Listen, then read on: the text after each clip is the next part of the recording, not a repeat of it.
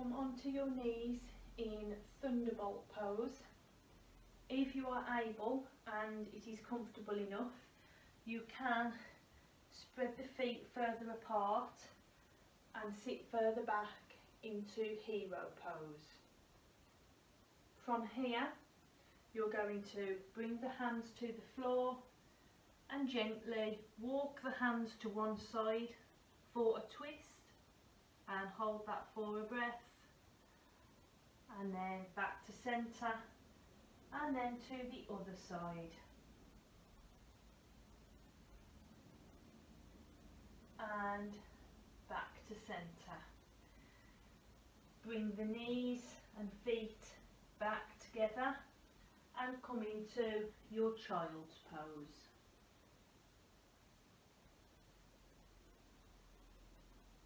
If you want to grab opposite elbows or wrists behind the back you can. Remember you can always put a block on the mat to rest the forehead on as well.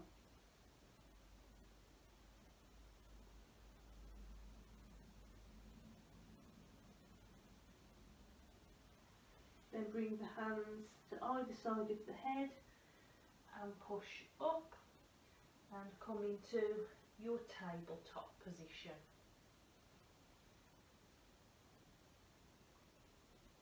Arch the spine, lowering the head and then curl, arching once more.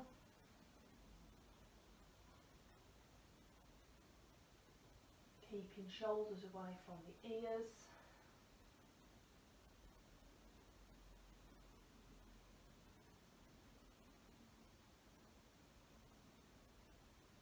And then return to tabletop.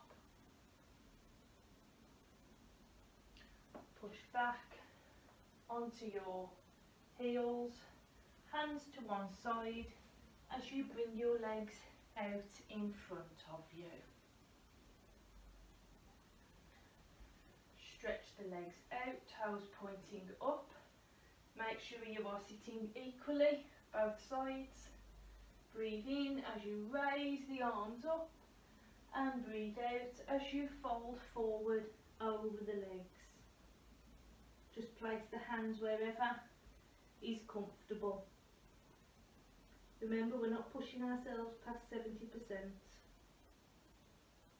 We're working within our body's limits.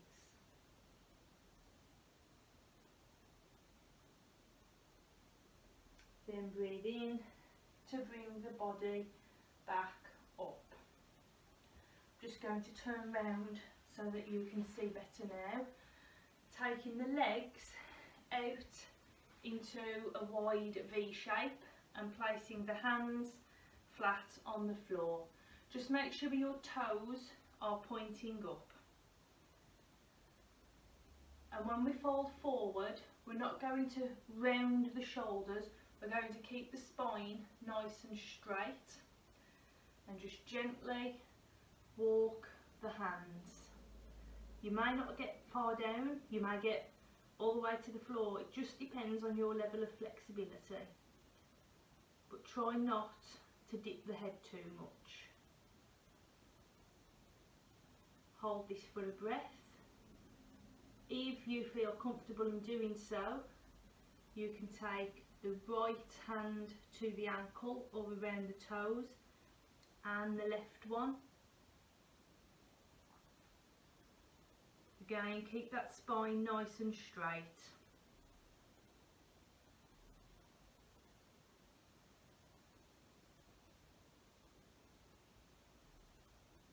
Bring the hands back to the centre and bring yourself back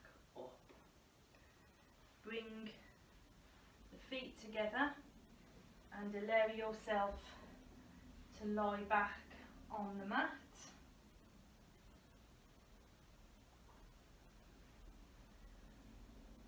Knees bent. Bring the right knee into the chest. You can give it a squeeze if you like. And then release. And the left knee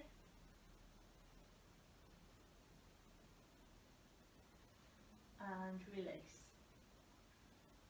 Make sure your feet are in line with your hips.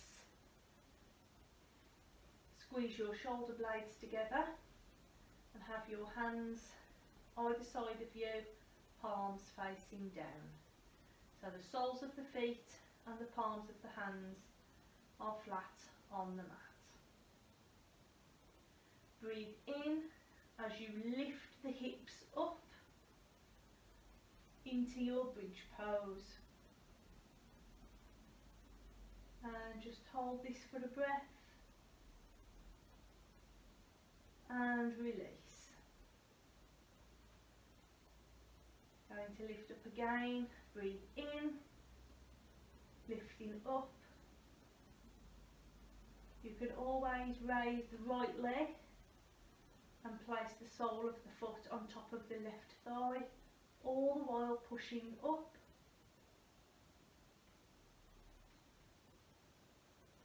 And then release.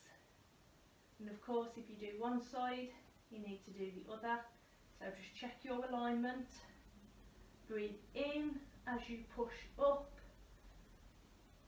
and bring the left foot to the right thigh all the while pushing up.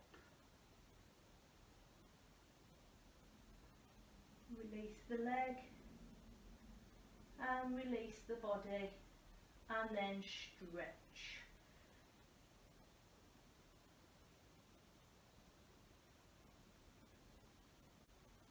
Bring the arms back down to either side of the body. Bend the knees, but this time bring the knees together.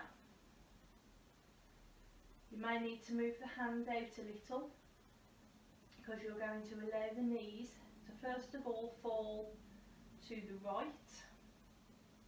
You don't need to force them all the way to the floor. Breathe in to bring them back up to centre and then allow them to fall to the left.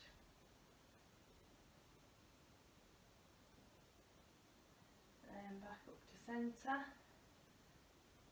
to the right,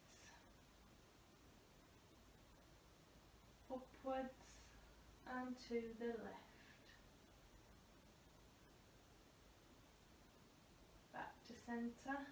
You can always bring the arms up above the top of the head but please make sure that the forearms are in contact with the floor or the mat and that they're not just hanging, they do need some support. Third and final time, allow the knees to fall to the right. Breathe in to bring them back up and breathe out as they fall to the left. Breathe in to bring them back up. Release the arms and now bring both knees into the chest. Keep the back of the head firmly on the floor and you're going to move the knees in small circles three times in one direction and then three times in the other. Squeeze them once more and release. Give yourself one last stretch and then prepare yourself for relaxation.